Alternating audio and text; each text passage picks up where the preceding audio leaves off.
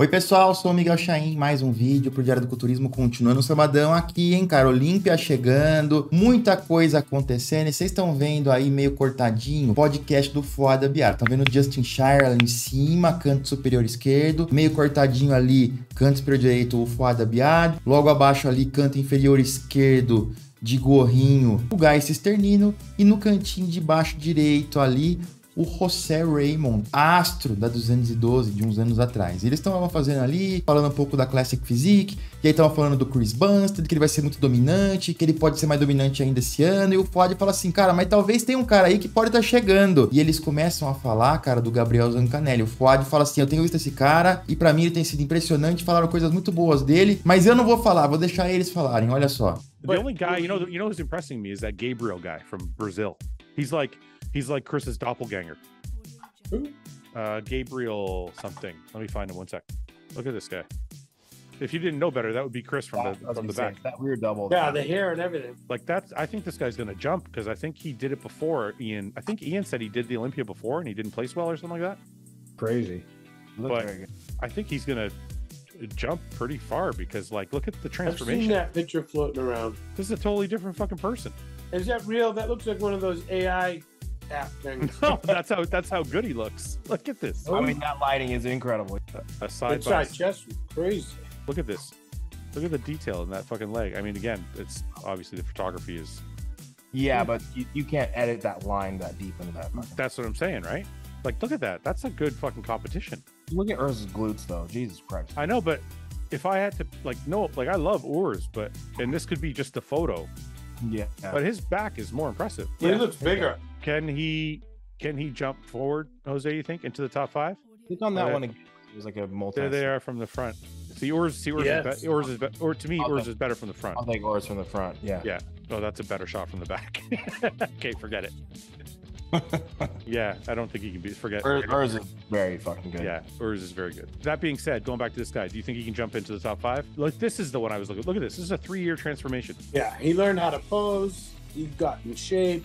His back grew a lot. He's so dense, man. He's dense. You got to think to yourself, he probably can't beat Terrence or Ramon but maybe he can beat Brion. Cara, muito legal ver o Zancanelli conquistando esse espaço, né? Lá fora, esse reconhecimento. Trabalha muito duro, tem um físico muito bom para isso. A gente sempre falou, cara, o Ramon é excelente, é nível lá em cima, mas o Zancanelli nunca ficou tão atrás assim. Ele trabalha muito duro e tá chegando. Então são dois caras excelentes aí na Classic Physique que a gente tem esse ano que podem. O Ramon é realidade, né, cara? Ele vai brigar lá em cima, lá por título, segundo lugar pelo menos. O Zancanelli, eu creio que sim, tem condições, assim como os caras falaram aí, de brigar por top 5, hein? Deixa aí sua opinião. E para você que quer melhorar o seu treino, seu desempenho, seus resultados, sua recuperação, Amino Powder 10 da Growth. O Amino Powder 10 da Growth tem a combinação exata dos aminoácidos essenciais, incluindo BCAAs, que vão destravar sua síntese proteica. Ele acelera sua recuperação e ajuda muito no ganho de massa muscular. O Amino Powder 10 é uma opção excelente para tomar no seu intratreino. E também queria falar que essa novidade, cara, olha só, paçoca com whey da Growth.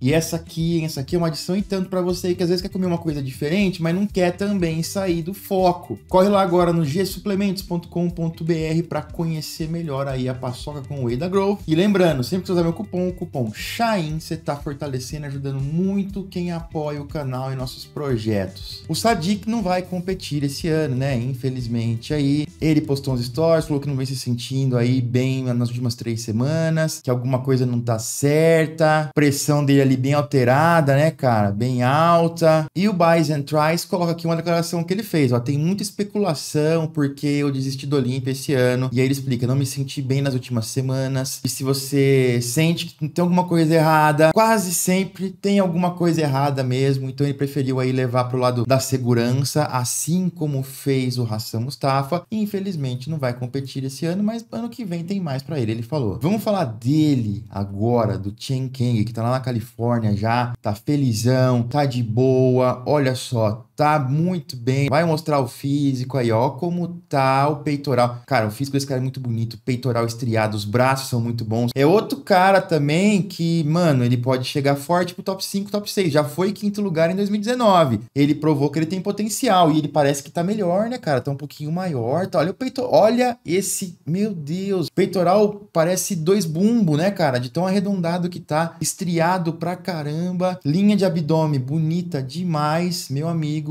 Chen Kang é mais um cara pra gente ficar bem de olho aí, porque é um cara que, com certeza, mano, com certeza, vai fazer um baita de um estrago nesse lineup da Classic e vai chatear muita gente. Deixa aí a sua opinião, eu vou ficando por aqui, daqui a pouco eu volto com mais vídeos pra vocês. Valeu!